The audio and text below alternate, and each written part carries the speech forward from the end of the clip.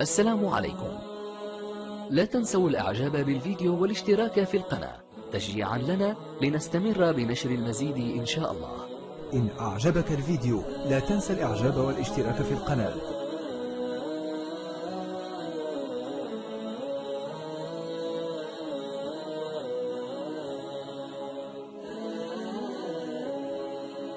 السلام عليكم. لا تنسوا الإعجاب بالفيديو والاشتراك في القناة. تشجيعا لنا لنستمر بنشر المزيد إن شاء الله. السلام عليكم ورحمة الله وبركاته. وعليكم السلام أستاذي كي داير لاباس. حفظك الله لاله فاطمة. لاباس الحمد لله بارك الله فيك أستاذي كي داير بارك الله فيك لاله الحمد لله. يا مرحبا. بك وأهلا أستاذ. يا مرحبا لاله أستاذ عندي واحد المشكل وليداتي كيقصروا بغيتك تدعي لي معاهم شي دعوة. بغيتك تدعي لي معاهم الله يرحم لك الوالدين. أشنو هو المشكل ديالهم لاله فاطمة؟ مانيش عارفة إيه، ما, ما عرفتش أنا كيفاش هاد التقصير اللي مبليين بالتقصير كيقصروا صافي. لا حول ولا قوة إلا بالله. هما في سن المراهقة؟ في العشرين ولا في لا واحد إلا في الله. 20 21 وواحد واحد في 19 وواحد في 20 21 23 نعم. كيقصروا يعني كيباتوا في الليل في المساء كي يريحوا مع الأقران ديالهم الموسيقى الرقص واه إيه لاله فاطمة الله يحفظك لاله الله يخليهم. ليك ويصلحهم يا ربي. وبغيتك تدعي لي معاهم. يا ربي يا كريم. يا رحمن يا رحيم بإذن الله. واخلا واه. فاطمة. وادعي لي مع الأموات ديالنا كاملين. يا رحمن يا رحيم. يا ربي يا. كريم. والزوج ديالي بغى حتى هو يهضر معك هو حدايا. مرحبا مرحبا لاله مرحبا شكرا أستاذي الله يخليك لينا. الله يحفظك لاله فاطمة. الله يطول عمرك لاله أستاذي لاباس عليك. الشريف حياك الله مولاي. آه أبويا والله ما قلنا باش نشدوا الخط رحنا درك سيمانة. يا بارك الله فيك أخويا أعزك الله وبارك الله فيك. كيفاش داير أستاذي لاباس عليك مزيان؟ ولله الحمد الله ينورك بنور عندي الله غير واحد القصة ودي أستاذ إيه. جا ديالي في قلبي. إيه. وبغيت نحكيها لك. عندي واحد خويا مع دي الوالده الله ما اكبر معاها. ما يشيخ معاها. ما يسول فيها ما والو. لا إله إلا الله. هذا الشيء اللي عندي أنا؟ الله يهديه الطريق المستقيم يا رب. يا رب. ولاباس عليها ودي لا إله إلا الله. والوالدة نتاعي ما يهضر معاها ما يسول فيها ما يقول لها ما ادعي لهم بواحد الرحمة. يا ربي يا كريم. في الوالدان تاعو راه ولداتو وراه خلاته وراه تكرفت عليك وراه لا إله. وهز معها واحد وراه تكون عندي وتكون عند واحد أختي الجميلة. واحد أختي مسكينة ما ما تنقرهاش كاع. لا إله إلا الله. وحتى أنا ود أستاذ ما كتبانش عندي بزاف كتضرب عندي ديك 10 أيام 15 يوم شهر كان عيا نقبضها أنا ولادي ولكني متوالفة مع أختي إيه فعلا إيه واحد أختي مسكينة بالعيون سميتها ميمونة. هزاها الله. الله الله الله. يحفظها يا ربي. وي هزاها بزاف. يا ربي يا كريم لكن هذا خويا مع ديمون ما عرفتش ما فهمتش. الله يهديه يا ربي يا كريم. يا ربي يعني يا بارك الله فيك أخويا شكرا لك. شكرا لك وشكرا لفاطمه من وجدة هذه العائلة المباركة حكت لنا معاناتها ومشاكلها وهمومها ولعل همها الأكبر هو في الأولاد. لاله فاطمة كتقول بأن الأولاد ديالها كيقصروا فهمنا من الكلام ديالها أنهم شباب شباب يحبون الحياة. ويحبون السهر والسمر وما يسمى بليالي الأنس. يقع فيها الاختلاط والموسيقات والرقص وربما تدخين وربما أكثر من ذلك شرب وغير ذلك. هذه الحالة هي مرحلة قد يمر منها بعض الشباب. هناك شباب لا بد أن يمر من هذه المرحلة لك- لكن ليس كل الشباب. هناك شباب في مراهقتهم ربما تكون مراهقتهم نظيفة فيها آه، عبادة وفيها طلب علم وفيها رياضة وفيها عمل اجتماعي وجمعوي ولا يحتاج إلى أن يقع لأن هذا الأمر هذا كتسمى التقصار اللي قالت له فاطمة هو السمر والسهر وليالي الأنس هو مثل العنب المجيع اللي تخليه كيبغي يجرب غير مرة واحدة كي كيشدو وبالتالي يبتلى ومن ثم كيغرق في واحد الواد ديال الشهوات والملذات حتى لك لا يكاد يتنفس الأكسجين الطاهر. يعني كيجي وقت المغرب إلا قلت لي تنفس الأكسجين الطاهر كيقول لك لا خاصو يتنفس أكسجين فيه الريحة والعبق ديال الدخان وديال الشيشة وديال الخمور وديال ويسمع موسيقات ورقص موسيقى صاخبة ورقص و و كي كيعشق. كاين اللي كي مسكين كيوقع مبتلى كيصير هو مبتلى بغى يخرج من ديك الدائرة ما كيقدرش. خصوصا إذا كان عنده أصدقاء سوء ويزينون له ذلك الأمر وخصوصا إذا كان هو كيشعر بداخله واحد الاضطراب. كيلقى لا راحة له إلا أن يدخل إلى هذا العالم. هذا العالم كان في في الجاهلية. الجاهلية معروفة بأن كان كانت تعطي الحرية الفردية للشباب. في النظام الجاهلي الأول إذا وصل الشاب إلى 16 17 سنة كان باه كيعطيه الفلوس. امه كتفرح ليه؟ ملي كيمشي يغبر. وكيقول لها لقد آه، كانت لي مغامرات عاطفية وفعلت وفعلت. امه كتزغرت.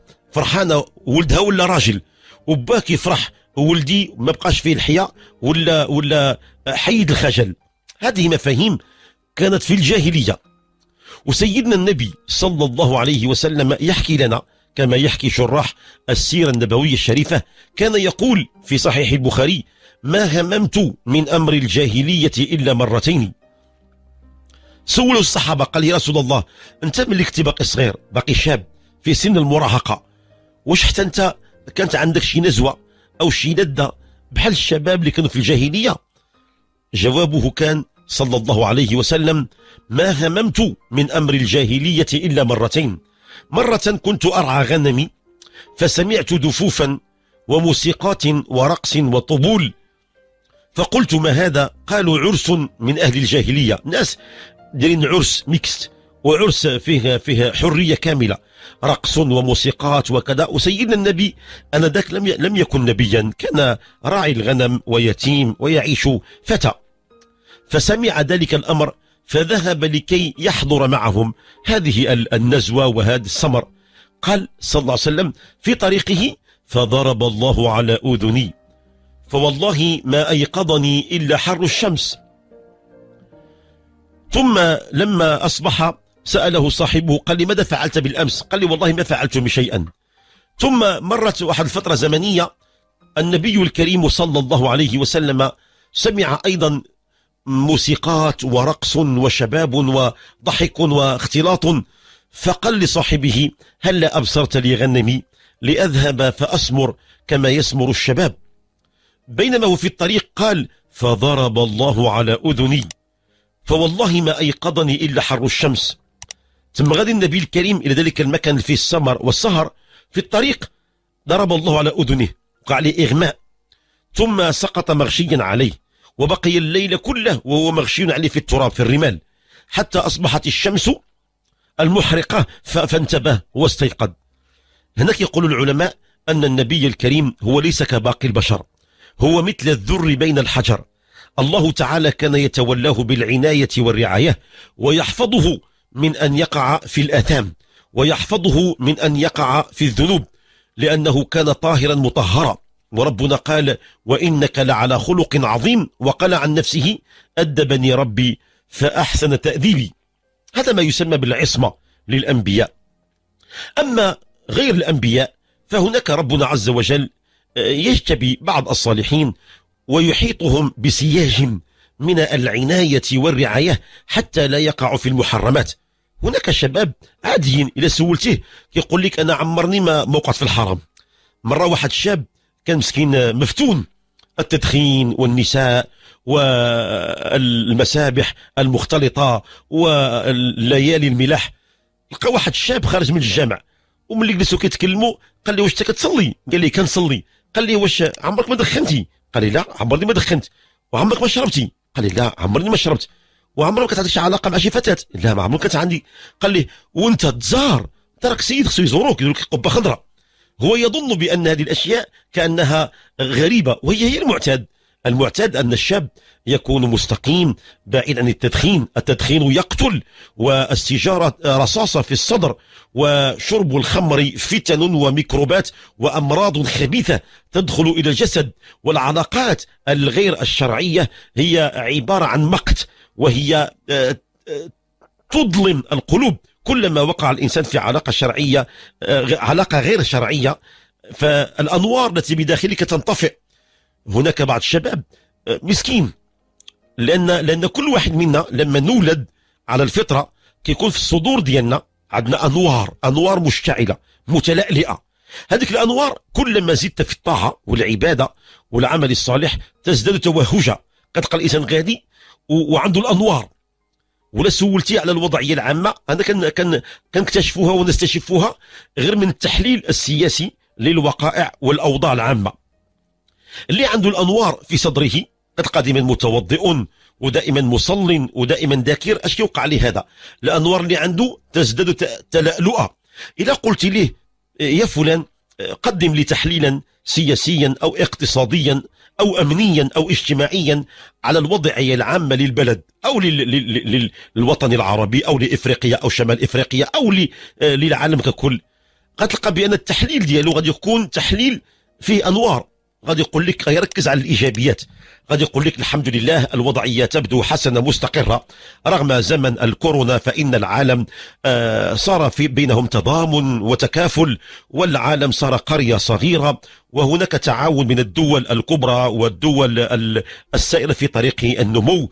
والناس شعروا بالخوف والخشية لما سمعوا الكورونا وتراجعوا إلى الوراء. رغم أن الاقتصاد قد هبط ولكن القيم والأخلاق قد ارتفعت والناس صاروا أكثر أمنا وأمانا وقلت نسبة الجريمة والسرقة وحوادث السير وتحليل إيجابي. علاش؟ لأن عنده الأنوار بداخله.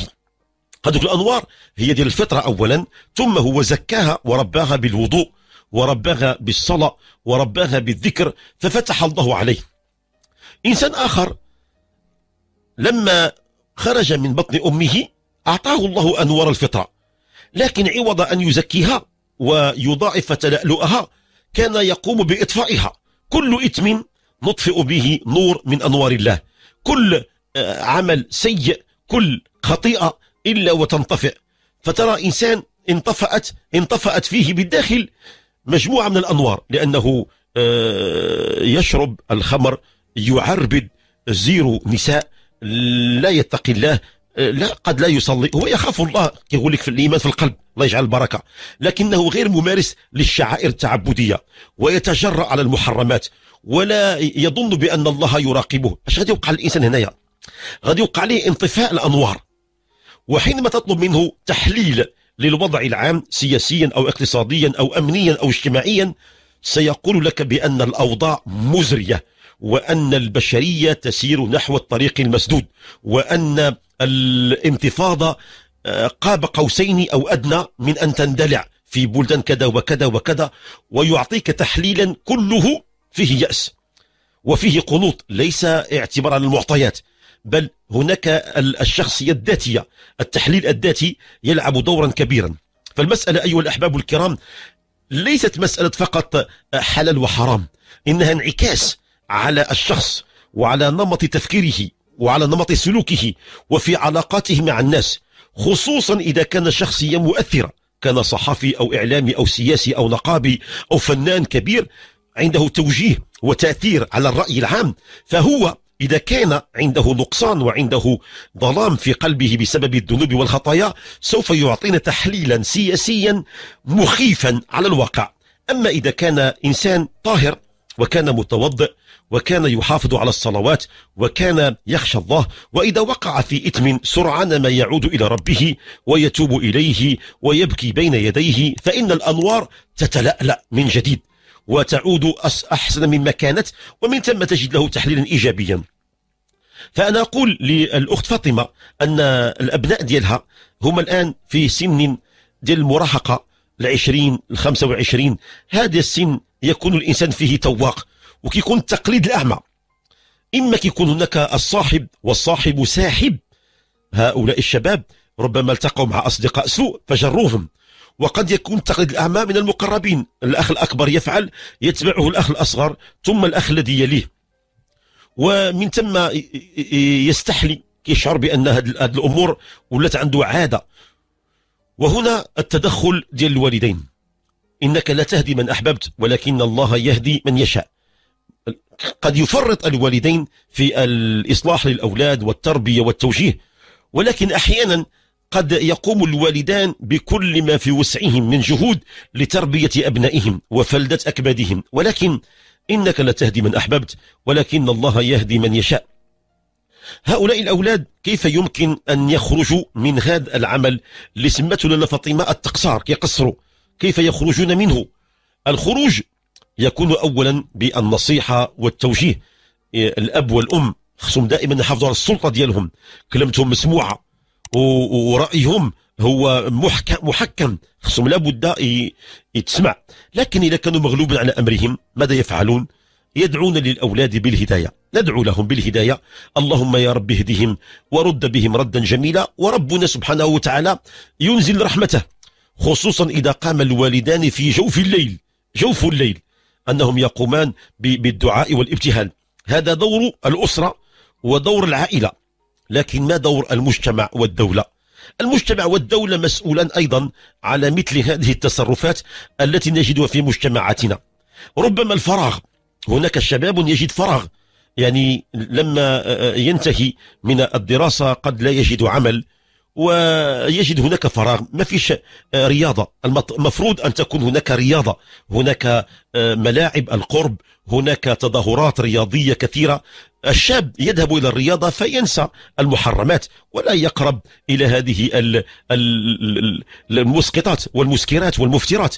كذلك لو كان هناك عمل فني نظيف وراقي ما تقوم به الشبيبة دور الشباب. أنهم يجمعون الشباب يعلمونهم المسرح يعلمونهم القراءة والمطالعة يعلمونهم دوائر للمناقشات الحرة. فيجد هناك من يستمع إليه ومن يناقشه. الآن ربما هذا الميدان ضعيف أيضا. وقس على ذلك. ثم مواقع التواصل الاجتماعي التي يطرقه أبوابها الشباب. هناك مواقع مفيدة فيها أشياء التي تبني وتزيد في الخير لكن للأسف هناك مواقع أخرى كل من دخل إليها تجره إلى ال إلى ال إلى ال إلى الهلاك. مواقع إباحية مواقع فيها دعوة إلى السكر والعربدة مواقع للتعارف والدردشة. كل هذه أسباب. فالمجتمع مسؤول والدولة مسؤولة والأسرة مسؤولة. لكن الذي يكتوي أكثر بنار هؤلاء الأولاد والبنات الشباب هم الآباء والأمهات. فالآباء والأمهات مدعوون للإكثار من الدعاء الدعاء الدعاء لكي يفرج المولى جل جلاله. وكنقول للزوج ديال لاله فاطمة أن الأخ ديالو أنه قال لك لبس عليه ولكنه لا يكاد آه، يتعامل معاملة حسنة مع أمه. فأقول له بأن هذا مسكين هذا ضيع الشيء الكثير لأن من عنده أم وأب مسنين وكان يرأف بهما ويكرمهما هذا مرزوق وهذا مكروم وهذا مرحوم. أما من كان عنده الوالدين وكان صادا عنهما هذا حرم من الرزق والكرم فهو فهو مشؤوم مشؤوم. فعليه أن يستغفر ربه وعليه أن يعود إليه لأنه سوف يضيع الأجر بين يديه. ربنا أعطاك أعطاك الجنة. الجنة الموعودة جعلها الله تحت أقدام الأمهات. فللأسف على كل حال آه، أخي الفاضل آه، أختك بإقليم العيون ميمونة هي التي تستقبل أمك. تصور كتجي من وجدة حتى العيون. يعني من من أقصى المغرب الشرقي إلى جنوب المغرب. وعادة الأمهات يرتحن في بيت بناتهن وليس في بيوت أولادهن علاش؟ لأن الولد ربما عنده زوجة وهناك طباع مختلفة وهناك آه، خاطر ربما ناقص من هنا أو هناك فالأم ترتاح غالبا في بيت ابنتها علاش؟ لأن حتى البنت هي مزوجة ولكن الزوج كيمشي من الصباح ما جيت الليل كيمشي من الصباح ما جيت الليل ولكن آه، بنتها كتبقى هي وبنتها ديها الحمام طيب ليها تصب ليها تجلس معها تواسيها كتحملها. لكن مرت الزوج صعيب صعيب إلا نادرا إلا من رحم ربك. لأنها غتوقع لها واحد النوع من الضجر غتصبر ثلاث أيام أسبوع 15 يوم غادي يوقع لها نوع من الضجر وأحسن ما قامت به هي أن الأم تقيم مع ابنتها ولكن ما دور الولد؟ هذا الولد اللي كبر قراته وكبرته وزوجته ما دوره الدور ديالو هو اولا الإنفاق الإنفاق بالمال أنه يكرم أمه ويضع لها جميع أنواع النفقة لتعيش حياة رغيدة ويسأل عنها بين الفين والأخرى إلا من أكرمه الله بزوجة فيها الصلاح وفيها الحنان. هذا هو الشائع عند كل أفراد المجتمع إلا من رحم ربك. فلاله فاطمه الله يحفظ لك الوليدات والله يحفظ لك الزوج ديالك والعائلة والأحباب. وربي يكون لكم ولي ويكون نصير. طلبوا الله تعالى هذوك الشباب وليداتك. الله يهديهم الطريق المستقيم. الله ينزع من قلوبهم حد الشيطان. اللهم تعالى يبليهم بالصلاة والعبادة والطاعة والعمل الصالح. ويكون فيهم الحياء ويكون فيهم الخشية من الله. ويرجعوا إلى الله رجوعا طيبا. وتشوف فيهم ما يسرك. يصيروا أزواج ويصيروا عندهم ذرية طيبة ويصيروا عندهم أسرة محترمة وتفتخر بهم بين أقرانهم. اللهم آمين يا رب يا كريم. السلام عليكم. لا تنسوا الإعجاب بالفيديو والاشتراك في القناة. تشجيعا لنا لنستمر بنشر المزيد إن شاء الله.